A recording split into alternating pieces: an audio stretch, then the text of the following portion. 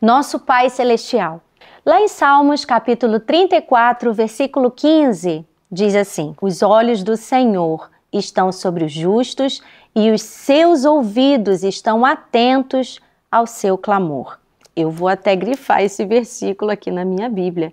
Isso é tão precioso, isso é uma promessa maravilhosa que você não pode deixar de atentar para ela, porque eu tenho certeza que nós precisamos meditar sobre isso.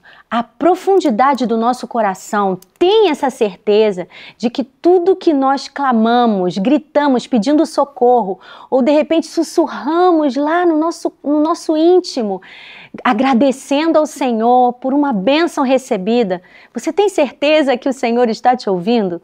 É o que a palavra de Deus está falando aqui.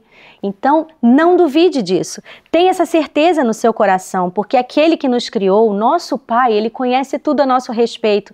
E mesmo que os nossos pensamentos estejam sendo formados e ainda não tenham saído da nossa boca, ele já sabe o que vamos falar.